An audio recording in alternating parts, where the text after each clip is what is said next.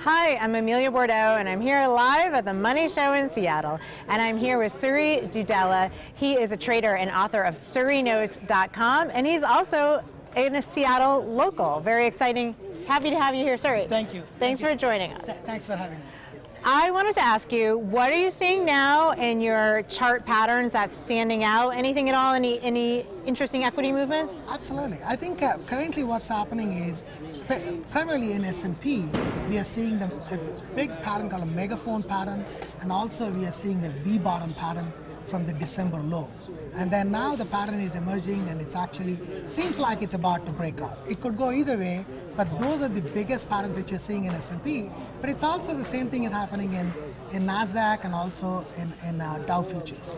So if all these patterns do break out, we probably will see a big rally which is coming up in the markets. Interesting. So, does the China trade war factor at all in your charts or yes, not? It, it does. It, uh, it has a definite impact on certain type of patterns which are China China dependent. For example, take Apple stock. Right. Apple stock has a steep decline, and now it's actually coming back up because the trade war probably might resol- might resolve sometime soon. So that may be the reason it's coming back. But it was also same thing with the stocks which are not so dependent on China, which are like, for example, take like Facebook.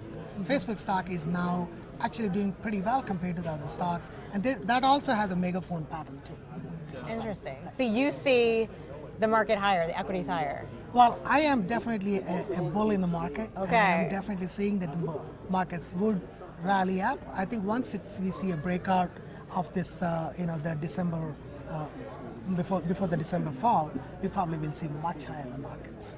I think that's really interesting because most of the speakers that I've been listening to and speaking here, they're rather pessimists, and you're the you're the optimist of the group. Fantastic. That's good. Yeah. I, am glad to be opposite side of it, but I am.